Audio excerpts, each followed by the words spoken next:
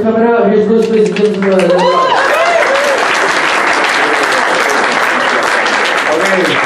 man, that was great. I could listen to every one of those artists forever, all night long. So here's what we're gonna do. Anybody going to bed now? Anybody wanna party some more?